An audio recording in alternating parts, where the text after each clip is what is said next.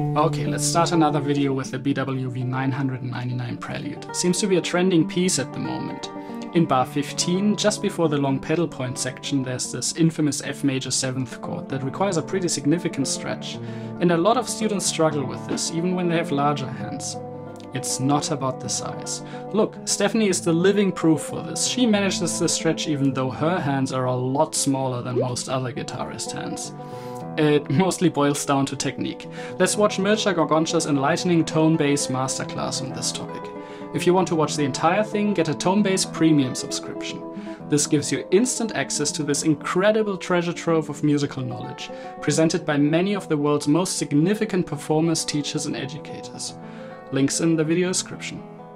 I'm here today to talk to you about left hand stretches. This is actually the most requested technical topic on the tonebase forums. I was actually a little bit surprised about the fact that this was the most requested topic because I was fortunate enough to learn a couple of tricks about stretches relatively early in life and never really had to worry about them afterwards. So uh, in this lesson, I will try to communicate some of those to you and hopefully you'll find them as helpful as I have over the years.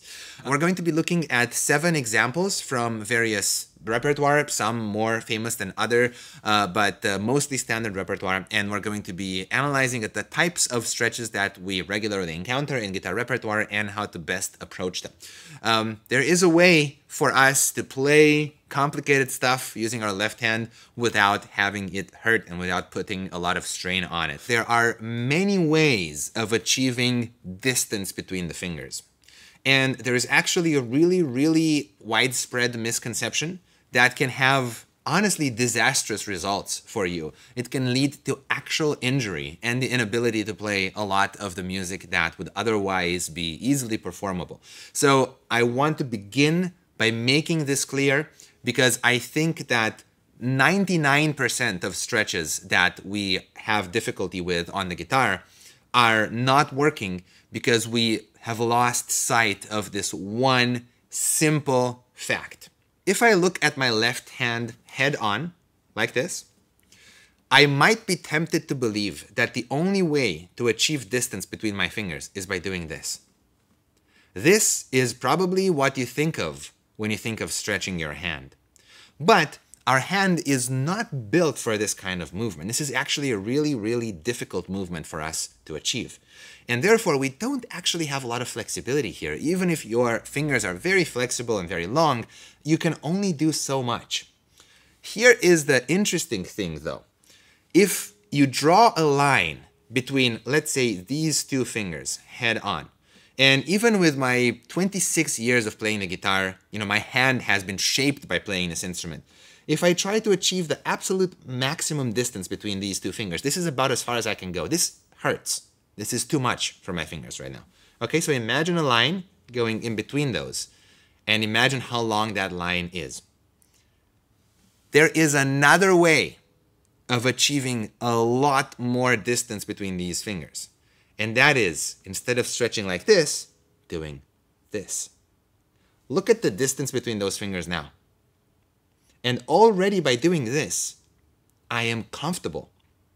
The distance between the first and the second finger here is significantly longer than this distance. And yet this hurts and this doesn't. If we take this to an extreme, uh, just folding the fingers into the hand like this creates an incredible distance between the tip of our first finger and the tip of our second finger. You see this distance here?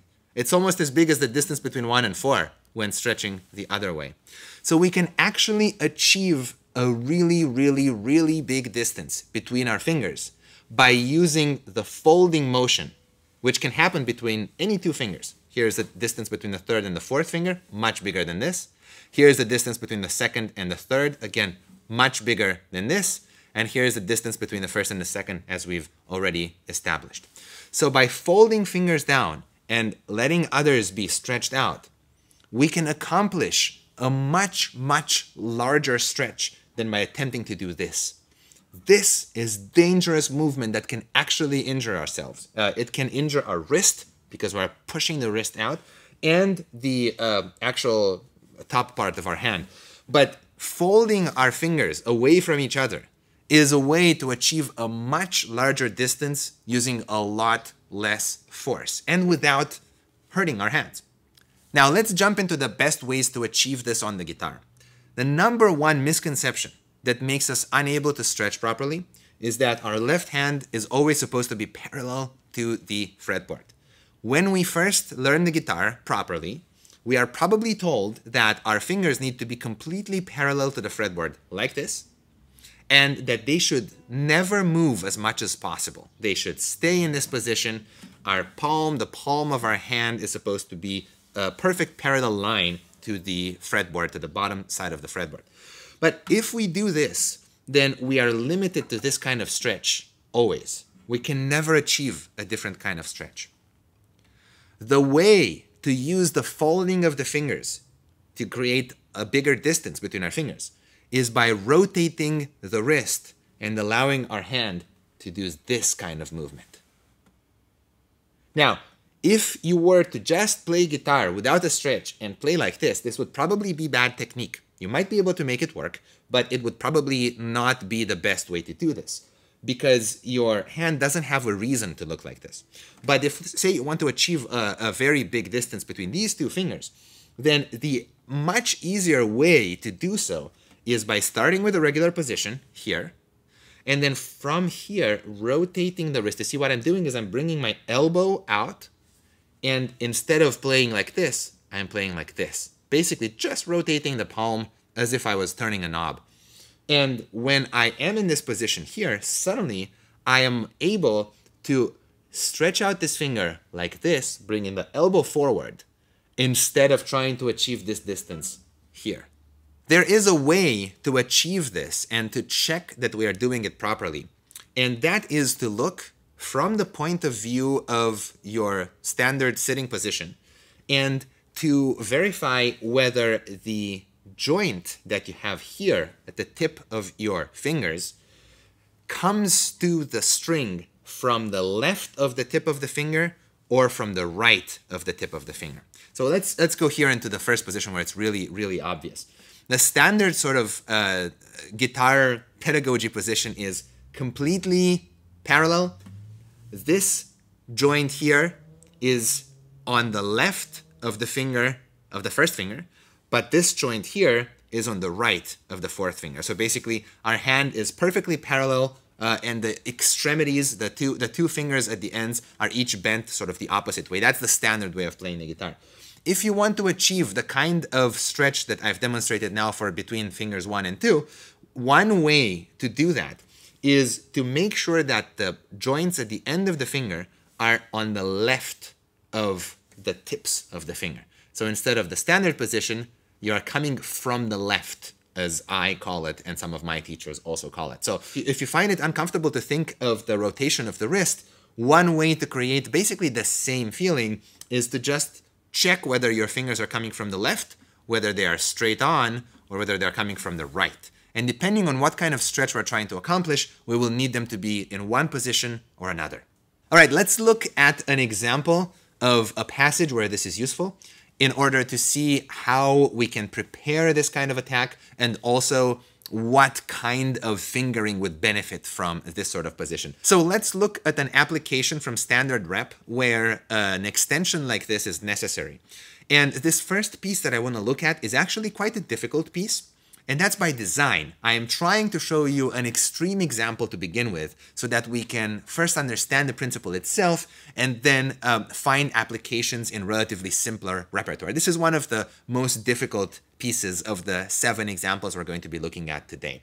This excerpt comes from Ocho Valses Poéticos by Enrique Granados, and this particular transcription that I'm playing is the one by Joaquin Clerch, and this is at the end of valse number six, uh, which is one of the latter waltzes. It's the F sharp major section of the of the waltz. So if you look towards the end of this movement, there is a passage that goes like this.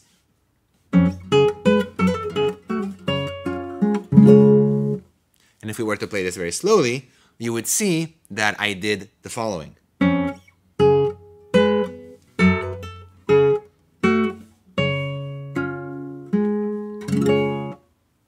So, how did I achieve this stretch? In this passage, you'll notice that I actually had to play F sharp on the sixth string, A on the first string, and then reach all the way to the B for the ornament. That's a big stretch from the second fret to the fifth fret between the fingers one and two. So, what are the key elements that allowed me to play this correctly and how did I achieve this? The most important one of them all, as I've already discussed, is I am playing both of these notes from the left. very, very extremely bent from the left. Basically, the, the joint of this finger, of the second finger, is really in the fourth fret, almost in the third fret, while the tip of the finger is in the fifth fret, right? So I am very, very much in this position as opposed to this position. And I am basically just doing this. I'm, I'm achieving this distance by, by folding down these three fingers while extending this one to the, to the left. So that's the first aspect that allows me to play this. Now the second thing is that this is really intelligently written. The fingering was created with this extension in mind. So when we play the measure before, what happens is that my hand is already here around fifth position for this note. And I have time to prepare my second finger. My second finger is already in position on the fifth fret where it's going to play the A on top. And from this position, I stretch the first finger out like this. So I am not going first finger first and then to the right. That is more difficult in this case than already being on the right and extending one finger. Whenever you have an extension like this with one finger going way out to the side, it's always easier to start with the core of the hand being in position and then moving one finger away to where it needs to be rather than the opposite. It's, it's kind of like thinking of this finger as a satellite. Uh, the solar system is here, the satellite is way over to the side. Start with the core and then extend the finger. That will allow you to make this movement work. Okay, that's the second aspect that allows me to make this, uh, this passage work. And then the fingering, the fingering is crafted in such a way that after I play the, uh, the ornament, I can slide down in the same position to reach the next note.